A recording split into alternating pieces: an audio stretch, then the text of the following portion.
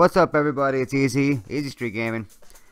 If you saw our video yesterday, in the description we said we had figured everything out. And it's kind of funny, you know, I don't think that Supercell thinks we're stupid.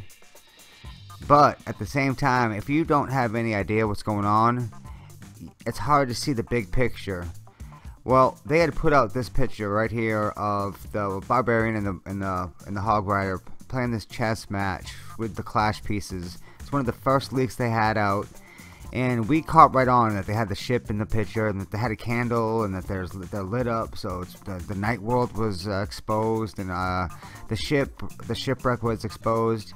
But what they really did was they exposed everything on the update in one picture. The actual picture itself was two players playing chess. So what we did is we made, I'm going to show you my graphic arts. Uh, you're going to get a kick out of this. It's really bad, but at the same time, you know, I'm not a graphic artist. This is this is me and Nirvana. We're both in the same clan, Damage Inc. This is us playing chess. So two players playing chess. So we started thinking about it, and if you just take away the chessboard for a minute which is what we did. We take the chessboard away, and instead of the chessboard, you put in Clash, because that's pretty much what we're what we're dealing with anyway. So now instead of two people playing chess, you have two people playing Clash. So it, it, I'll take a couple. There we go. There's our little setup. So it's not two people playing two individual games. It's two people playing the same game, just like you would in chess, one versus another and instead of the chessboard being in the middle it's it's it's the actual game. So let's just say uh, instead of saying it's the game let's just call the game the update. So in in simpler terms it's two people playing the update together. And that's that's what that picture shows. That's what the update is in my opinion. That's what I think at least. Pretty sure. Uh, so, what we did here, we went deep into speculation. kind of like I said I wouldn't, you know, it's, it's like the band that says they'll never do cover songs and they do an entire album covers. That's what we did. So, okay, so what we did is we took away the, uh, the, you know, we took away the game from in between the two players and we gave each player their own individual little handset or tablets. So now we're able to play the same game, but now instead of being in the same room, we're on different sides of the world. And instead of two people playing against each other from the same clan, from the same family, now it's two people playing against each other from different clans. And that's that's what we're thinking the update is.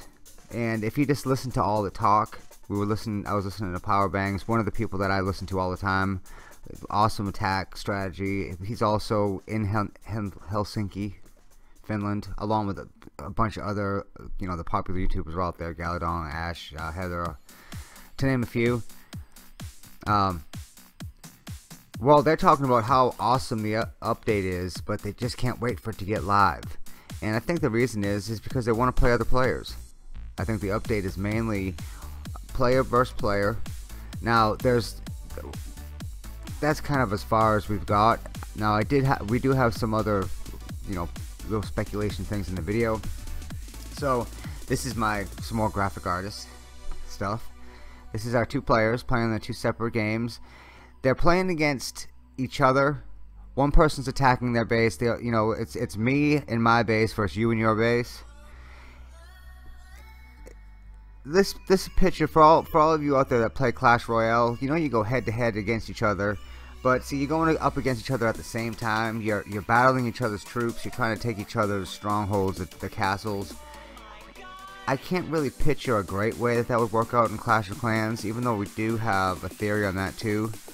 But let's just say that um, the, the night world, the super fast night world, means that you go there and you can scroll through any of your bases, you put up whatever base you have, then you have a certain amount of time to choose your army and instead of building your army over 30 40 minutes or whatever it takes it instantly builds for you and then you go at it head to head it's you, you are attacking their base they are attacking your base and whoever gets the most stars wins. And then from there, you know, there's there's probably a, a bunch of different ways they can break down who wins or loses. And that's just uh, the first scenario, the first possibility. I think that's a pretty strong possibility too. And you know, they said it's the biggest update ever, bigger than Clan Wars. This would be bigger than Clan Wars because now you can now we can go into this completely different type of game set. And you're playing against another player head to head and it's not that you know a clan war is kind of the same thing but you know that's a two-day setting. You might be able to play 10 or 15 different people in a couple hours. Who knows?